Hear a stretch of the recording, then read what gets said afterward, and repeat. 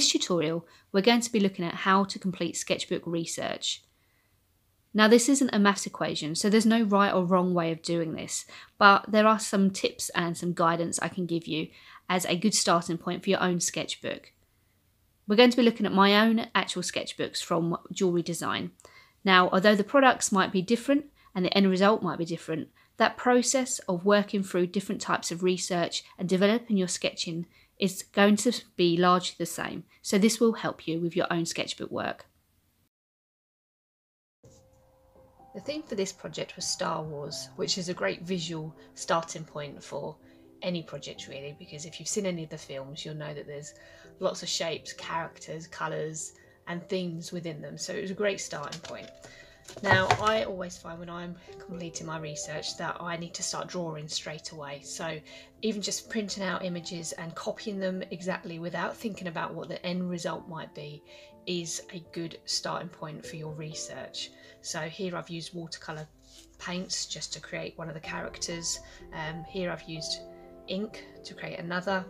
And uh, throughout the pages, you'll see that I'm just making note of what it is I'm doing, and also I'll start adding in my own opinion and my thoughts and feelings as I go as well. So here I'm using HB pencils to do a sketch, adding a bit of colour and ink again. It's all just experimenting, so you really don't need to worry about what your product's going to be and finishing your design or even starting it at this point. It's just playing around, getting a feel for the theme that you're studying, the research that you're doing.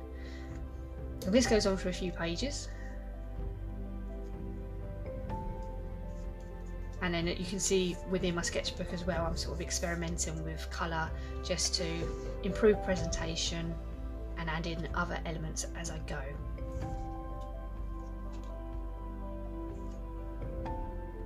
I start to take individual aspects from the films and create some ideas and developments from them as well. So this is where your research and your design will start to cross over quite a bit because as you're doing research, you may have an idea pop into your head that you want to get down onto paper, and that's absolutely fine. You don't have to have completed your research in one hit before you start your design ideas. It's quite possible for them to cross over each other.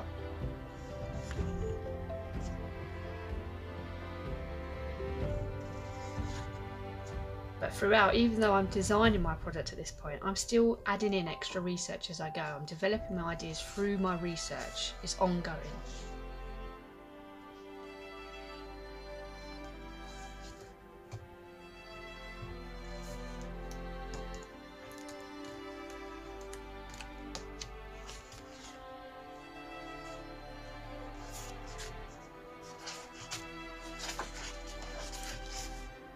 This project was still based on Star Wars, but it was to make a different product. So this was to design a necklace. Um, and again, I'm starting off with visual research, looking at images from the comics in this instance, and just drawing straight onto them, just playing around with the shapes. So it's not a case of creating a beautiful piece of artwork from each piece of visual research you, you collect. It's experimenting and just trying out things as you go. Again, I'm experimenting with the shapes. I've got a bit of tone in my drawing as well. Once again, adding colour.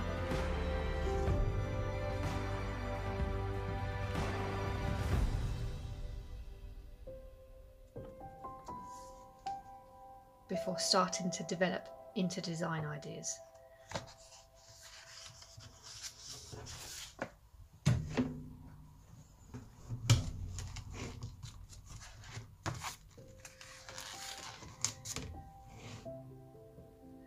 This project followed the theme of Under the Sea, which is pretty obvious from the first page straight away. Again, visual research, looking at fish to begin with, experimenting with pattern and colour.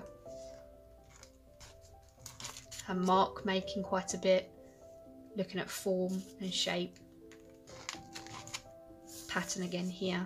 So on its own, without that piece of research, you wouldn't know what this is. It's just a piece of colourful artwork, but actually it's taken the inspiration directly from my visual research and nothing yet on across all these pages. You haven't seen anything in terms of a design of a product. This is just exploring and researching looking at visual images from the sea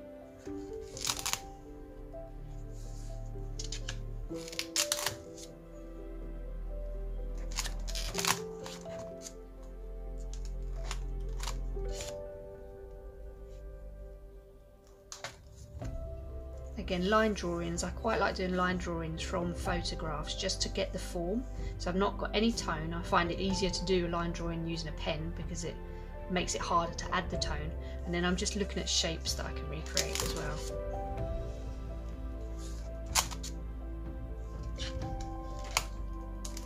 So this is where I start now. I've looked at visual research based on my theme of sea life, but I'm also going to start exploring materials, which is something you'll need to consider when you're doing your research pages. So I start to explore different ideas that I have. I don't necessarily know how I'm going to use these as an end product, but I just want to explore what is available to me or how it could be used. So I started off by looking at magnets and how they have been used within jewellery. Um, the product I'm making here is a sea life inspired jewellery item. So I just did a little bit of research of why they're used and how they're currently used in jewellery.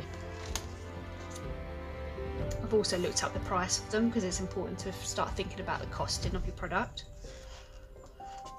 I also started exploring resin. It was something I'd seen on a piece of jewellery and I was quite interested in seeing how I could use it within my own designs. And I really quickly established that actually resin's used in a lot of different products to create completely different effects.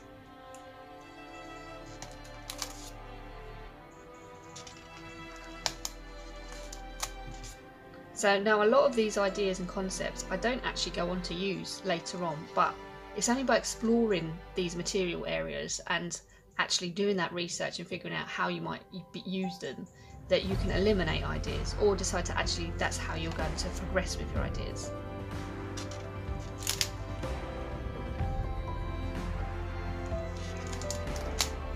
Was quite interested in stingrays as an animal and also the texture of their skin.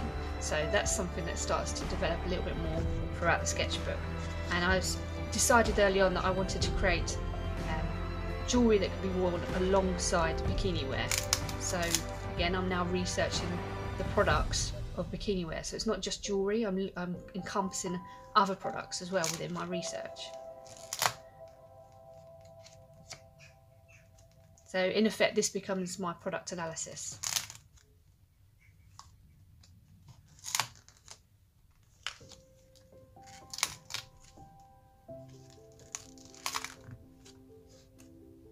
Now, as I said before, I looked at um, stingray skin and the texture, and then I found out actually it's used as a product like leather.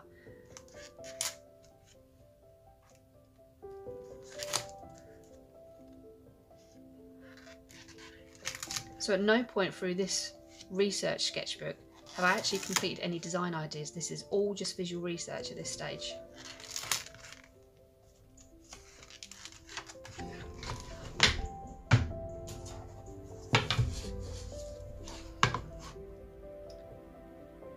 The design brief for this project was to design a set of silver jewellery that could be sold to women based on nature.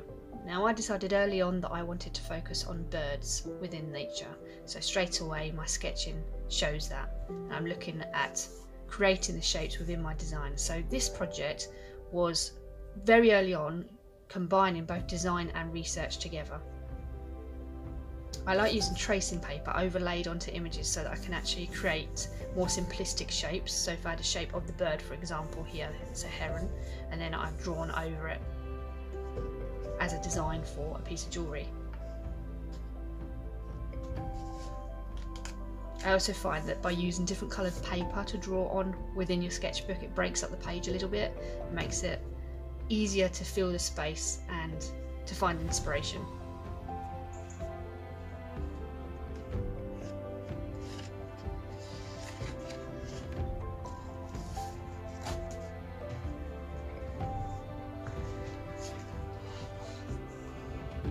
This project was based on this project was inspired by surfing and I was keen early on to create jewellery that could be worn by surfers or people that spend a lot of time on the beach. So obviously my visual research started by looking at the beach, looking at waves and water and creating my own sketches from them. I've even included poems in my research as I felt it was relevant at the time. Observational drawings are a great start for your research. You get a really good idea of form, shape and tone. I've looked at other existing companies that appeal to my target market. And again, I'm experimenting with different mediums. So because I'm using a black papered sketchbook, white gel pens work especially well on these paper. Again, I start to explore different materials. So I looked at driftwood because it's associated with the beach.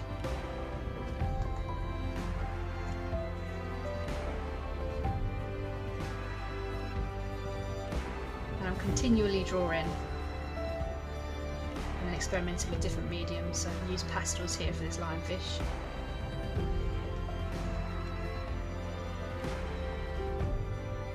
Once again, I'm looking at existing products, so these are my product analysis that I've added in.